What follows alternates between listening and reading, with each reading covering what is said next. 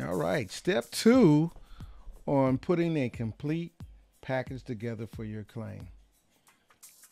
Good afternoon, everybody. This is Paul Posey. Hoorah. Shout out to all my Marines out there. If you got some Army buddies, you can let them listen to this video also. So I'm not trying to, you know, divide us. You know, I think we have enough of that. Um, here's what I need you to do I need you to call 1 800 827 1000. I need you to do that. 1 800 827 1000. Now, this is just the lowest level of getting things done. When you call that number, tell them you want to submit for your medical record. If you don't have your medical record already, you're going to contact these people and they'll tell you how to fill out a form. I think it's a SF 86 to get your record. Um, then you'll fill it out and submit it, and they're going to mail you your military records. If they do not have your military records, you're going to ask for the form. I think you might be able to Google it. If I can find it, uh, I'll find the number and put it on the screen. If not now, maybe later. That you can create a new record.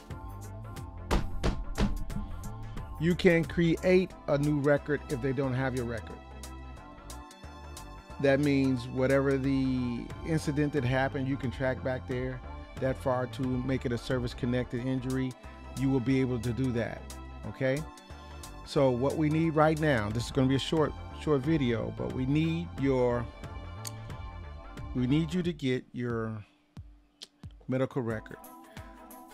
What you're going to do with your medical record when you get it, you're going to take to take it to a VFW or a DAV or a SVO and have them look at your record because someone's going to be there. They're going to know somebody who can look at your record and tell you what you should claim because it is what's in your medical record that helps things to become a service connected injury.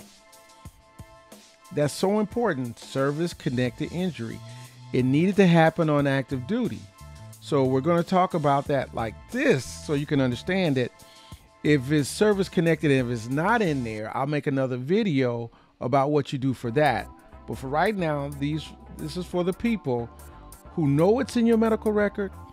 You got to request your medical record, get it to somebody who's going to highlight it for you.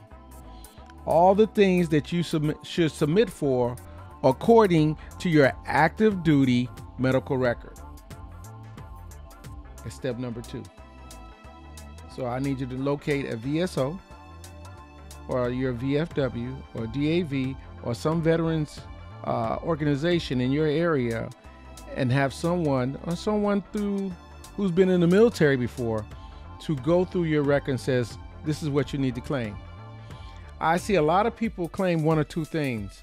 On my initial claim, I claimed 23 items.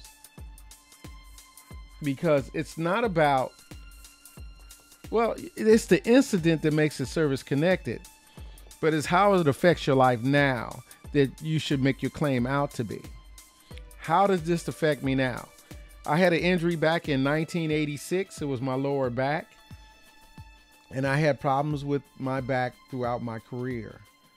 And I still have it now. How it affects me now. I have trouble sitting up for long lengths of time.